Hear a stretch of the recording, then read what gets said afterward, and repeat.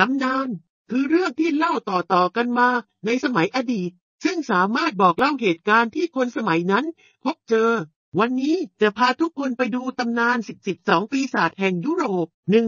Aka Manah, จากตำนานของโซโรอัสเตอร์วอเตอร์สตุกผู้ควบคุมความชั่วร้ายของจิตใจ เช่น ความโลภความต้องการทางเพศ ที่ชักจูงผู้คนออกห่างจากความดีทั้งปวง มันชอบใช้งานผู้คนเป็นหุ่นเชิดเสมอ สอง King Payman, กษัตริย์ไพมอน หนึ่งในผู้จงรักภักดีที่สุดของลูซิเฟอร์ มีเสียงที่ทรงพลังและน่าเกรงขาม และเมื่อไพมอนปรากฏตัว จะต้องถามหาในสิ่งที่ตนต้องการ และต้องได้รับคำตอบกลับมาอย่างที่ต้องการเช่นกันสาม Duke Agares, ปีศาจจากความเชื่อของชาวคริสเป็นชายสูงอายุขี่จระเข้และมีเหยี่ยวเกาะอยู่บนแขน เป็นดยุกแห่งนรกที่สอนภาษาต่างๆ มากมาย และมีพลังแห่งคำสาปแจ้ง 4. Lady Midday, ปีศาจสลาฟผู้ที่วนเวียนอยู่กับพวกคนงานที่ตรากตรำทำงานหนัก เพื่อขอให้พวกเขาตอบคำถามที่ยากยิ่ง หากตอบผิด เธอจะลงโทษโดยการเด็ดหัวของพวกเขาด้วยเคียว 5. President Boer, ประธานาธิบดีแห่งนรก แต่ไม่แน่ชัดว่าได้มาจากการเลือกตั้งจริงหรือไม่ มีความรู้เรื่องธรรมชาติและปรัชญา และชื่นชอบในเรื่องของสมุนไพร และชอบเยียวยาความอ่อนแอของมนุษย์ 6. Duke Elagos,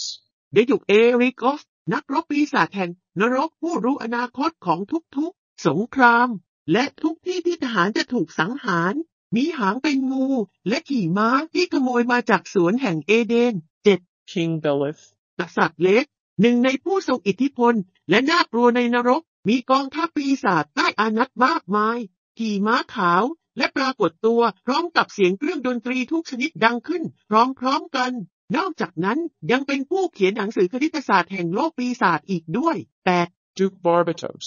เดยุกแห่งนรก ผู้มีพลังในการสื่อสารกับสัตว์ และสามารถบอกอนาคตได้ เป็นผู้ที่จะนำคนไปสู่ขุมทรัพย์ ให้ลุ่มหลงมัวเมา 9. Abizel, ปีศาจสาวจากตำนานของชาวยิวที่ทำให้หญิงมีคันแท้งลูก จากตำนานคือ เธอเป็นคนมีบุตรยาก ดังนั้นเธอจึงอิจฉาและต้องการฆ่าเด็กทุกคนที่อยู่ในคันสิบ Ronald, ปีศาจแห่งลางสังหรณ์ของจิตวิญญาณอันเก่าแก่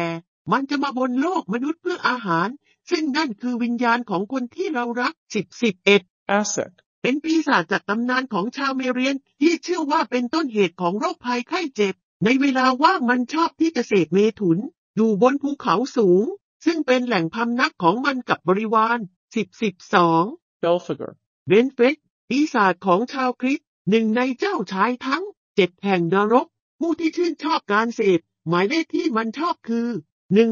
ศูนย์ศูนย์ศูนย์หกหกหกศูนย์ศูนย์หนึ่งและมันยังเป็นทูตของนรกอีกด้วย ก็จบลงไปแล้วนะครับ กับตำนานปีศาจนรกของยุโรปฝากกดไลค์กดติดตาม เพื่อเป็นกำลังใจได้ทำคลิปใหม่ๆด้วยนะครับ ขอบคุณครับ